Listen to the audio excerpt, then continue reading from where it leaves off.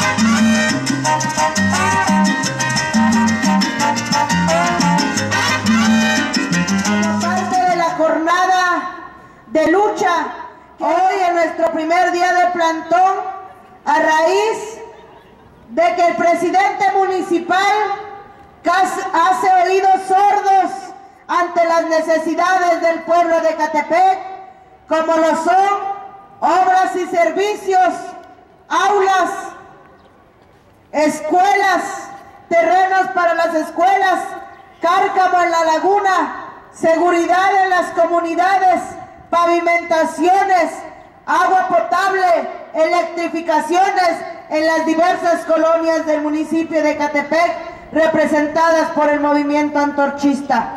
Hoy, hace más de nueve meses, el presidente municipal se comprometió en una minuta de trabajo donde puso su firma para poder a cabo todas estas obras que estamos gestionando y que estamos enarbolando.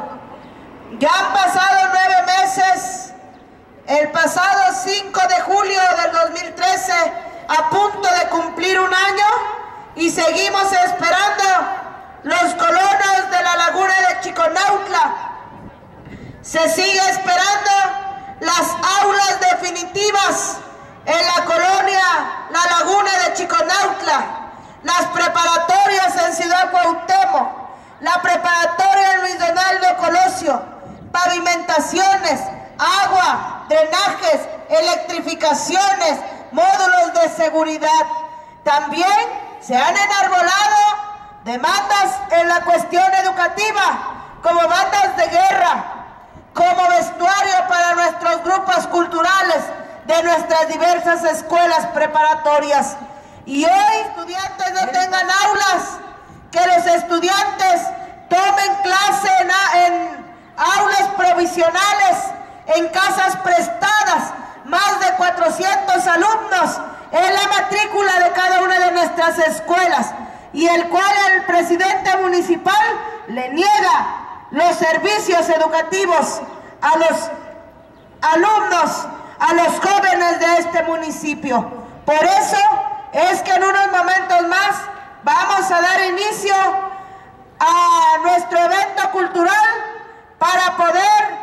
llevar a cabo, para poder culminar la jornada de lucha de este día. Así que la opinión pública, ese es el motivo por el cual estamos plantados aquí de manera definitiva hasta que el presidente municipal se le quiten las cerillas de los, de los oídos y haga caso y escuche al pueblo, pero además que le resuelva sus demandas elementales, que le resuelva su drenaje, que resuelva el cárcamo, que resuelva la construcción de nuestras escuelas. ¡Antorcha está presente! Se ve, se siente, Antorcha está presente, se ve, se siente, Antorcha está presente.